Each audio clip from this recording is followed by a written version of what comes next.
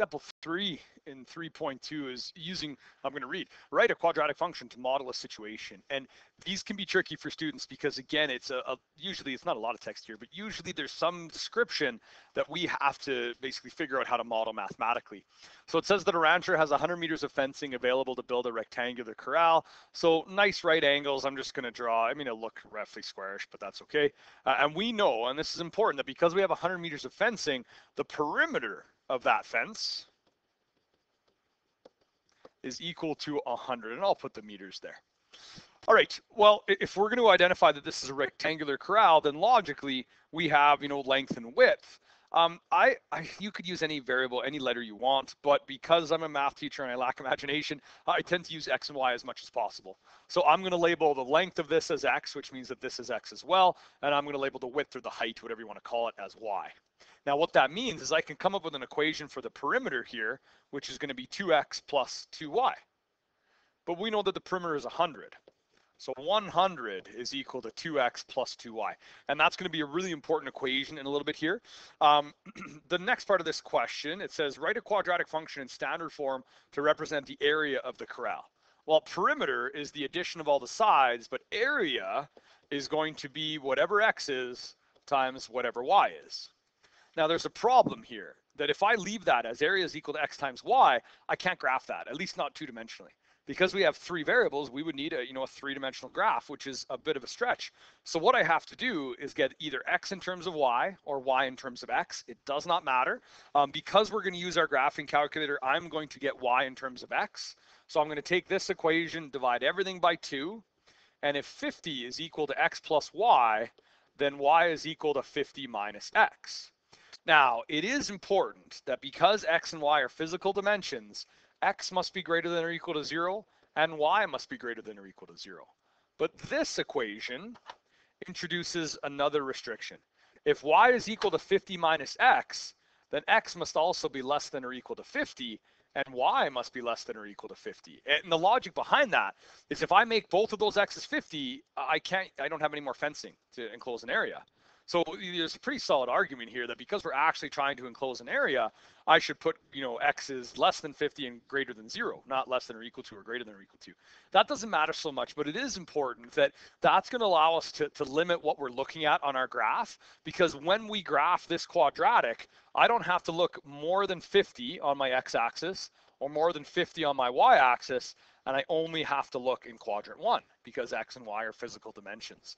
But what we're gonna do next is really important. And I'm gonna write this in a particular way that because I am taking my blue box equation and substituting it in, what I'm really writing now is the area of this corral as a function of whatever we make X.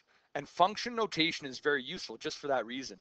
It tells me exactly what I'm using to calculate the area of this. And that would be equal to the X variable that's still there, but instead of Y, I'm going to put in 50 minus x. Now, it does want a quadratic, so I'm going to clean this up just a little bit, and I'm going to write it as negative x squared plus 50x, and that's just distributing that x onto both.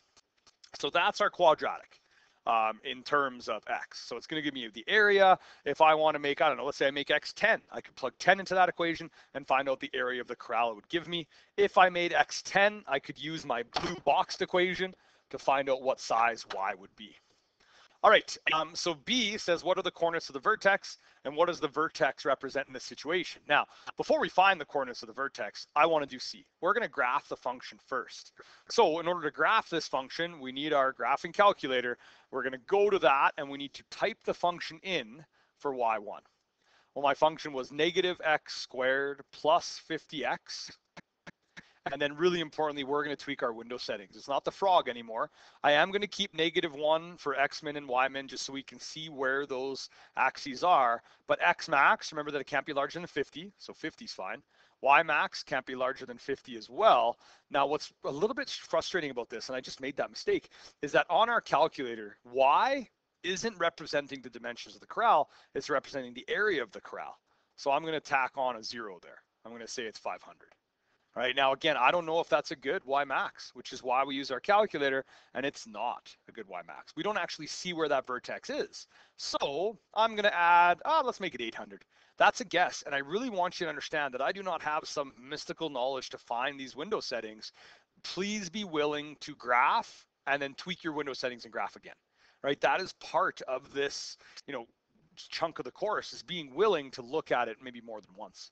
In order to find that vertex, it is a maximum. So I'm going to do second trace option number four, which is maximum. The left bound, that's good there. That's the left of it.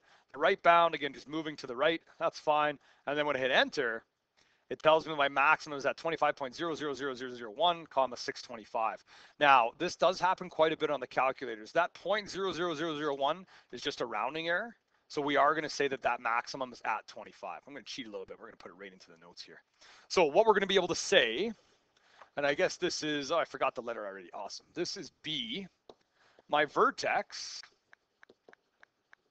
is at the coordinate 25 comma 625 and this means that the area is equal to 625 square meters when the x dimension is 25 meters. Now, because we have this blue formula, and I'm kind of, I guess I'm boxing in black now, um, if x is equal to 25, then the other dimension is 25. So I'm actually going to put the corral would be 25 meters by 25 meters. And you will find that when we're looking to find maximum areas, you will get squares almost every time, unless there's some kind of a, a little tweak they make to the question. All right, um, so that's B and C. Uh, it wants us then for D to determine the domain and range for the situation. And then E is to identify any assumptions you made in modeling this situation. So I would argue that you could not make a corral. So when we talk about the domain and range, I'm going to say that X can be greater than or equal to zero, but less than or equal to 50 and is a real number. Now, here's the problem. I don't want to put y there because I've already used it for the dimension. So I'm going to say that the area, because it's really important that this graph is area as a function of x. Very important to identify what you're actually graphing because otherwise you can get a little confused with what your variables are representing. So the area has to be greater than or equal to zero, right? Area can't be negative, but it's going to be less than or equal to that maximum area, which is 625 square meters. But area is continuous, so it can be any real number in between those values. All right, last little bit here. Sorry about the scrolling. It says E, identify any assumptions. Uh, I mean, there's plenty. There's the assumption that there's, you know, the ground is perfectly level uh, because we can go 25 meters without needing extra if it was slanted up. Um, we're also assuming that we can break the fence apart into any dimension imaginable. You know, some fences might come in two meter chunks or three meter chunks, and we wouldn't be able to do what we're doing here.